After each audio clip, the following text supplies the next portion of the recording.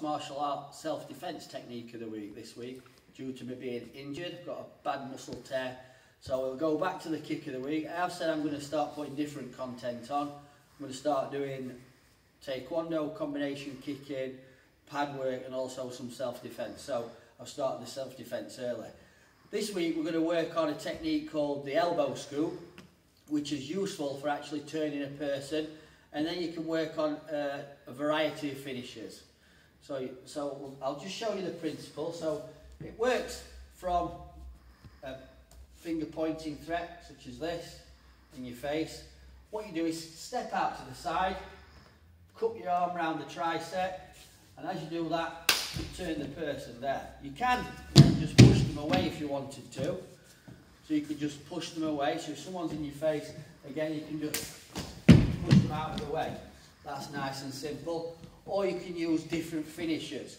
Finish that I like to use on this one is the face bar. So I'll show you slowly. So you step out, scoop the arm, this arm comes across the face, pull him in, and it's quite painful as you can see by Steve's face. And that is an elbow scoop transitioning into a face bar. And I'll show you one more time slowly. Okay, so you step out, scoop the elbow. You're now at the back, so you're safe because he can't attack with all his weapons are this way. You rake this arm across his face and get him close.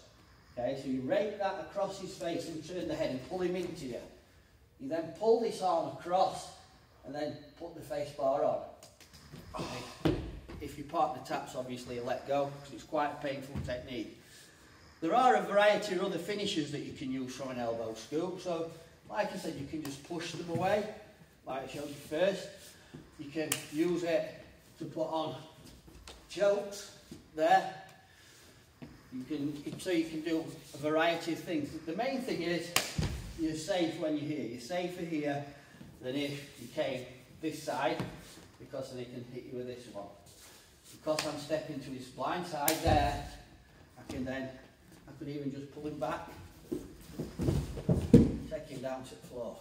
So you've got a lot of different finishes just from that opening technique, the elbow scoop. I hope you enjoyed it. Thanks a lot.